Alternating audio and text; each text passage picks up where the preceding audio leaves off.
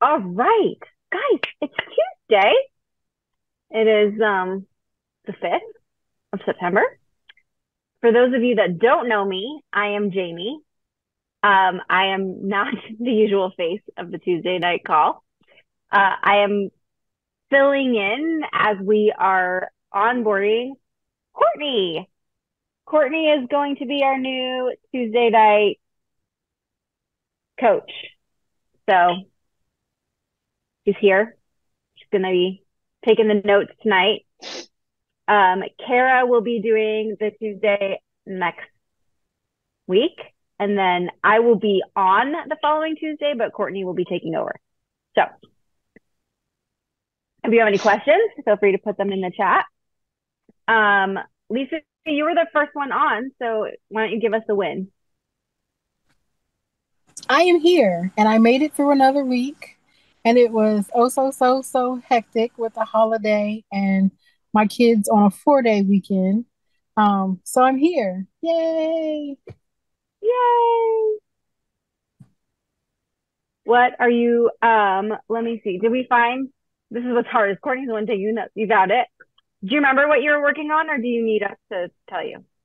So I know I was supposed to prepare a couple of meals in advance. That was an absolutely flop. I actually planned them. I didn't actually like do the chopping and all that stuff that I planned to do with it. Um, but I actually planned them. So like when I leave, I'm at football practice now. When I leave here to go home, I know exactly what I am supposed to be cooking when I get there. It's not all prepared like I wanted it to be, but at least I am not trying to figure out what I'm cooking when I get there. Like that part is already done. So I, am That's excited. Half the battle that. um, so are you this week gonna try the meal prep, or do you want to just try sticking with the meal planning part? I actually need to get to the meal prepping portion of it in order to get my household back on a schedule that they so desperately need and I so desperately need. Um, I'm struggling. So I'm like, I'm just gonna be happy for the baby step, and then I'll build on that baby step for next week. Like I actually went to the grocery store, which I didn't last week, so that's progress improvement. Um, and then I actually know what I'm supposed to be cooking this week, so another. So I'm like, I'm just gonna celebrate the small incremental steps in the process, and not, you know, beat myself up for not doing everything that I said that I wanted to do, which is usually my mo. I love it. I love it. So, do you have planned in your schedule sometime this week to do the prep? So that is where I am struggling, struggling, struggling. So I'm struggling with Sunday planning. Um, I'm I was on monthly planning, but I'm struggling with monthly planning. But a lot of that is probably because I'm only like halfway through O, so I don't quite have all of the steps down to understand what we're doing. And even watching the videos a couple times after the fact, it goes so fast that it's hard to catch all of the pieces for it to make sense for me to do it. So I'm kind of quasi attempting, but doing my own thing. And it's like, it's a hot mess. So I'm planning this week to make it a little further through O. I want to go through O and A in September so that by the time it comes for next monthly planning, like I, I actually have something under my belt. I know what the heck I'm doing here, and it doesn't all feel like. Eh. hmm Yeah. Um, my suggestion for Sunday planning is if this is something that's new to you, it's like a muscle. You do need to practice and practice and practice and practice. But one of the things that you could do is Cara, Cara talks about habit stacking, and it's you habit stack monthly planning.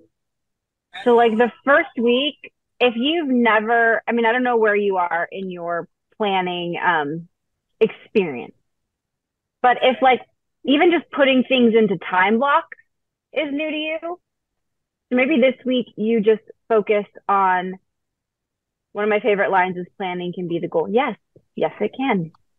Trust me, That's where people get stuck is they want all the like all the goals and all the things, but they haven't gotten Sunday planning down.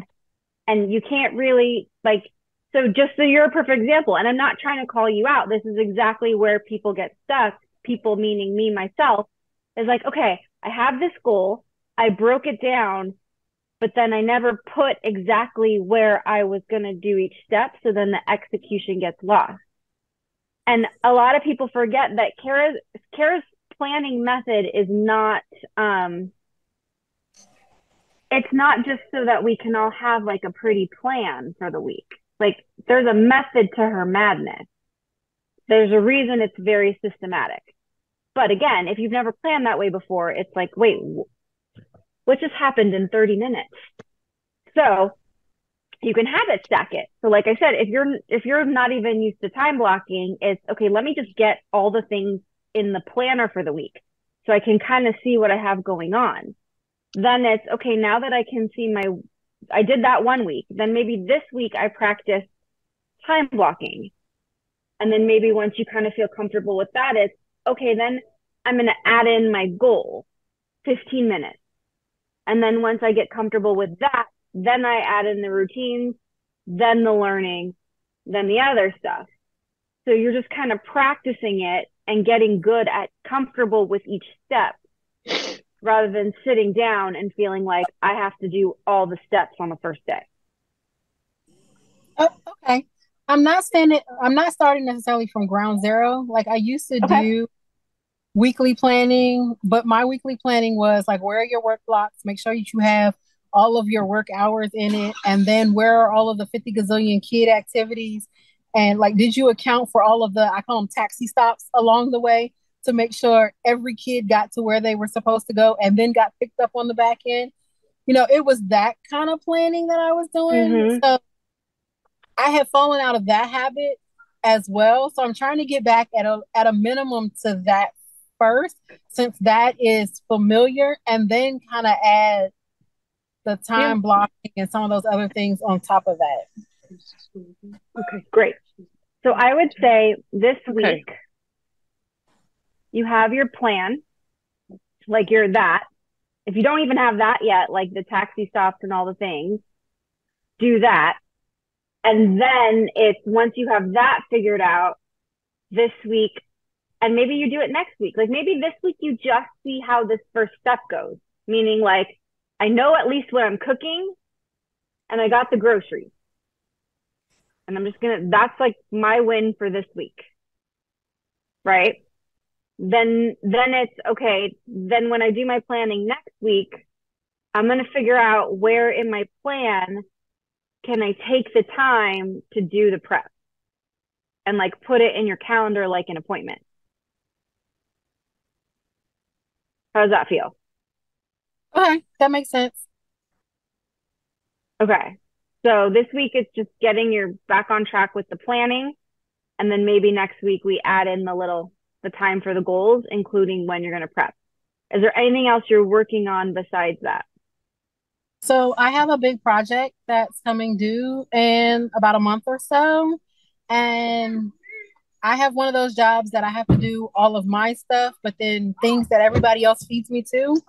And it's like the stuff everybody else feeds me is getting done, but my stuff isn't getting done.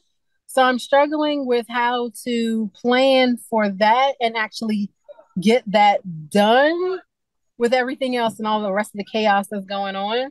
So when I talked to Cara on Friday, it was to plan for that to be first on the list to do um, as opposed to the afternoon stuff.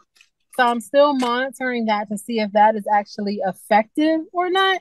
So more to come like next week on that part. Okay.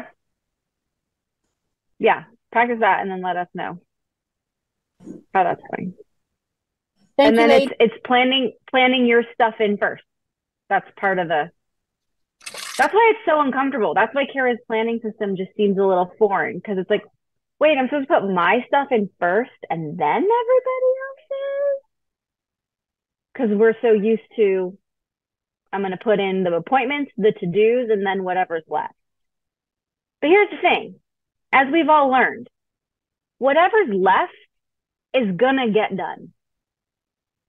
Like you're gonna figure it out because that's stuff that needs to get done. So if you put in your stuff first,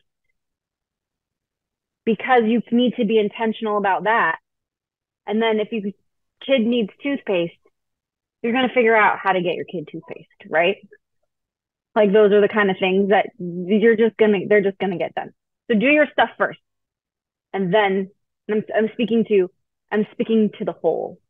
When I get stuff done for me, I do more for the family and with a better attitude. Yes. 110%.